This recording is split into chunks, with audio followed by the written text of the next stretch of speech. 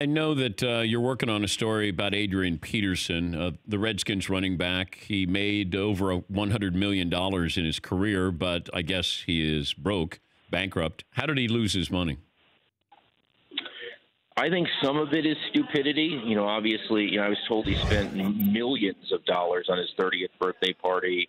Um, you know, there was an ESPN story uh, about the, uh, the account of that where he had camels and lemurs and uh, flew everyone in first class. And you know, it's it's it, his lawyer is telling a story of you know more like you know bad apples and people that he tended to trust and whatever. But you know, some of it's got to be on him too. He he spent money frivolously. Um, you know, and I, I don't. I, I hate to make this about the NFLPA, but um, you know, they have this financial advisors program, Dan, which basically allows people who are in who are financial advisors if they're you know seven years in the field or so they can take a test and become an NFL certified financial advisor through the union.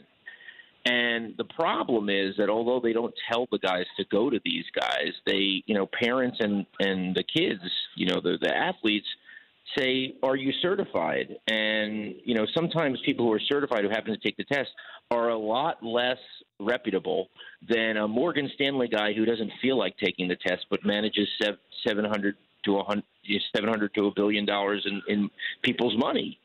So it, it kind of creates this false sense of security. I don't think they should be doing that type of program. Um, and you know, so I think that there's the negative there too. But yeah, this is just. But we don't we don't know, Darren, if Adrian Peterson used these people you're talking about, do we? No, we we we we we, we do know that. So so in when I was still uh, when I was at ESPN, I looked at his charity and you know had found that the main benefactor of his charity for a period of four years was the treasurer of his charity.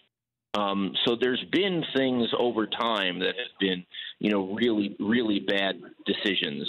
Um, and there's been a lawsuit or two over people that have had, uh, you know, advised him. But how much is his fault and how much is their fault?